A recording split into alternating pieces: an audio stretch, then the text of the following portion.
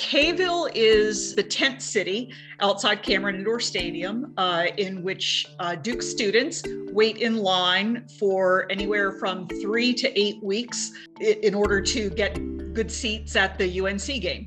In a larger perspective, it is the idea of the Duke fans being kind of a sixth man to the team um, and being there to support them even through hardships, which uh, definitely is in the mid- middle of February. K-Ville is a camping grounds pretty much for Duke students to be able to see the rivalry UNC Duke game. My mom was the one that started K-Ville uh, back in the 80s. It was my senior year, uh, 1986. We were ranked um, one, two, or one, three, or something like that in the country that year. And we were talking about when we would have to go stand in line to get into the game on Sunday. And as the evening went on and more beverages were consumed, a bunch of us just kind of pitched the first five, six tents and uh, people saw us out there and we got two reactions one was you know what a bunch of idiots and the other was oh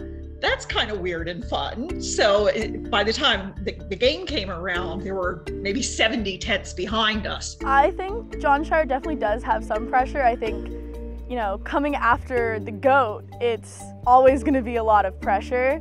I've thought about that a lot. Uh, I think it will remain K-Ville for the foreseeable future, not to borrow from our neighbors down the street, but you know, Dean Smith is still remembered and it's still the Dean Smith Center.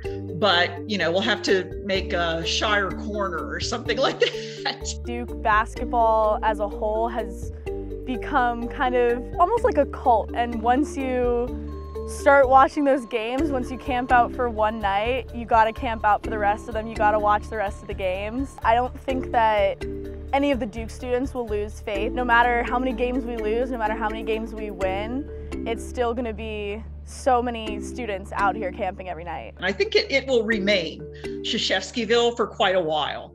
Um, now, that being said, I think part of the popularity of Krzyzewskiville and its stamina uh, to, to last throughout the years has definitely been the success of the Duke basketball program.